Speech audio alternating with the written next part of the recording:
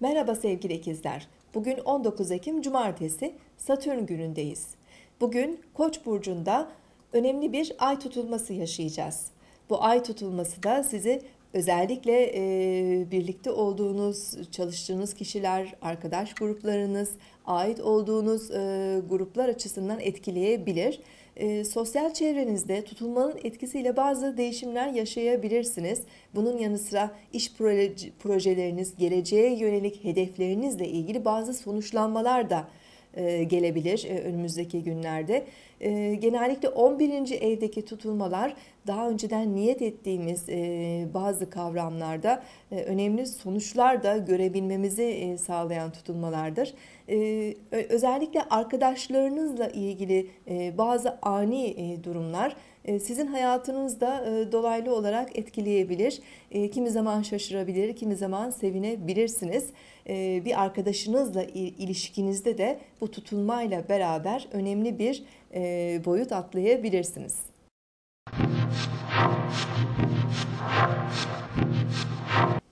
Burcunuzu dinlediniz. Bugün 19 Ekim Cumartesi Satürn günündeyiz. Ay Koç burcunda dolunay fazında. Bugün 02.39'da Ay ve Koç karşı karşıya gelecek ve Koç burcunun 25 derecesinde bir ay tutulması meydana gelecek.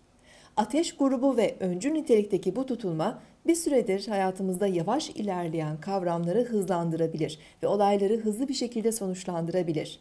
Özellikle Koç, Terazi, Aslan ve Yay burçları e, çok daha hızlı ve ilginç gelişmeler yaşayabilirler hayatlarında.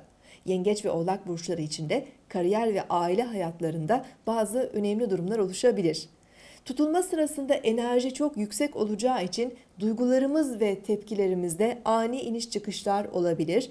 E, sakin kalmaya çalışmalı ve kendimizi kontrol etmeliyiz. Tutulmanın ardından ay boşluğa girecek ve saat 10.28'de Boğa burcuna geçecek. Boğa burcundaki Ay ile Mars arasında e, olumlu bir açı oluştuğu için enerjimiz ve motivasyonumuz gün boyu yüksek olabilir.